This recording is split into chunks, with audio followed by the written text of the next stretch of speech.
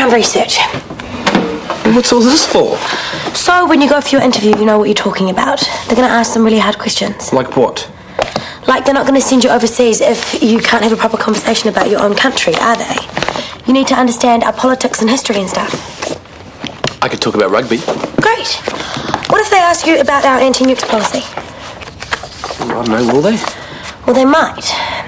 And like, how would you have a conversation with an American family about it, for example? I'll just say I didn't know.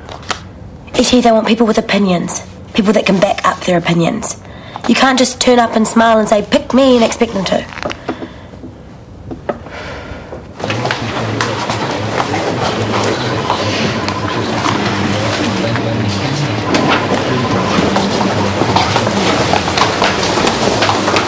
Who's sending you flowers? None of your business. Excuse me, that is private. Thinking of you and all the good times. Love, Sammy? Sammy? Who's Sammy, Mum? What did she say? Oh, some garbled rubbish about Sammy being this lovely woman that she played bridge with on the cruise. That could be true. Why would one woman send another woman flowers? What planet are you on? You send flowers to people you like. It doesn't matter whether they're male or female. You didn't see the look on her face when I asked. Sammy is definitely a man and Mum is definitely covering something up. Well, maybe it's just her business and we should keep out of it. If this Sammy is some awful predator type, we're not. We don't know that. How many times do I have to tell you? I have worked in the travel business. I know what goes on in these cruises. Fine. Then, if you don't want to listen to me, Why? Because you're always right and we're always wrong? no. Excuse me? Shut up, you two. In this case, I bet I'm right. He'll be some horrible old lech whose wife's just chucked him out or she's died or something and he's just looking for a new source of income. You, you don't know that. A phone call, a bunch of flowers, and look at you, you're in hysterics. I am not in hysterics. You're the one who wanted to know if she's bonking. What's changed? I'm sick of you and your stupid little victim fantasies. I don't think we should pry. Mum is not stupid. I agree. Let's just wait and see what happens. Oh, yeah, that's that's really sensible. How long should we wait until he gets into her bank accounts and cleans them out? Have you forgotten they're not real, Hamish? Would you describe yourself as having leadership qualities? What's that got to do with it? They'll ask questions like that. Look, you asked me to help. Either you take it seriously or stop wasting my time and go home. Leadership qualities? Yeah, I suppose. Great answer. That told me heaps. Okay, I coach the girls' rugby team. Okay. So what will you say? We win a few games. Ita, you're mumbling and you're not even looking at me. You need to sell yourself. What, like some sort of tosser? Come on.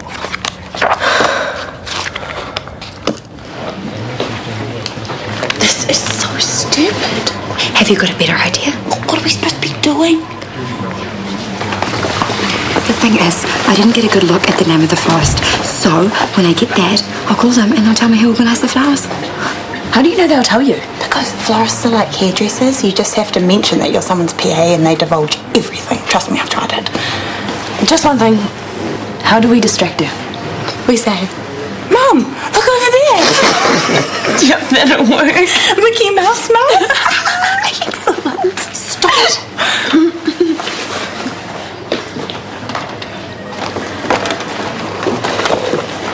Okay, stay there and do not move.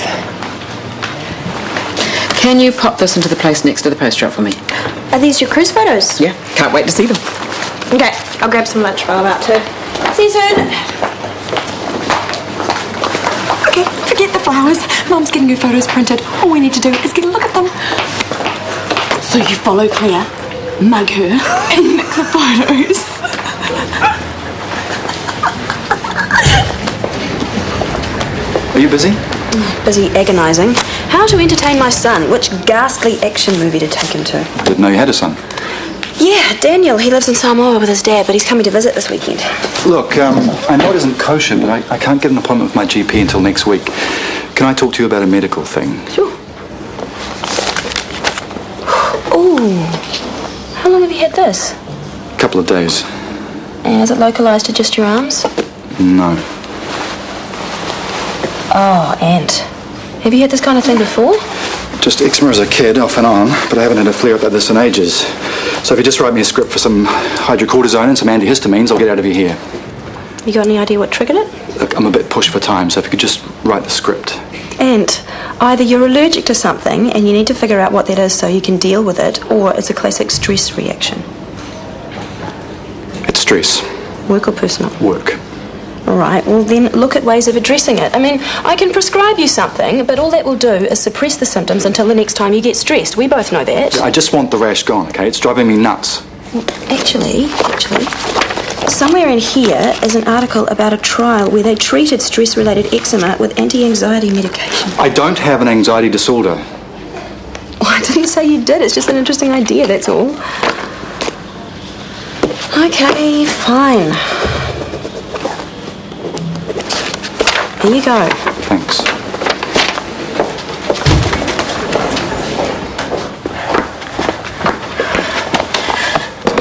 How are you getting on? I don't know what to say. You haven't written anything. I just feel like an egg writing about myself.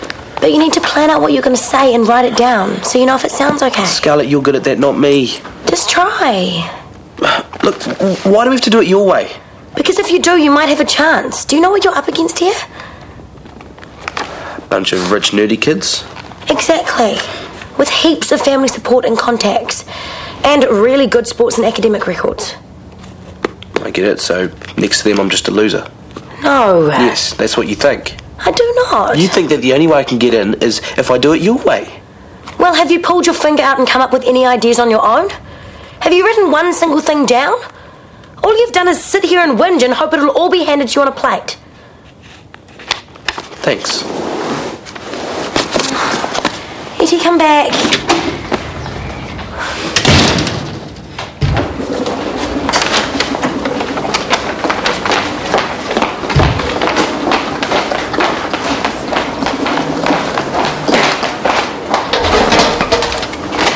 Oh, let me guess. Mum's holiday shots? Yeah.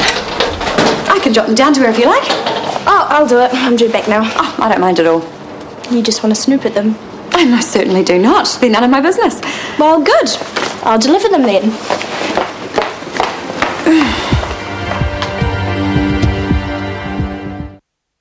If you're over 50, now's the time to gear up for new roads ahead.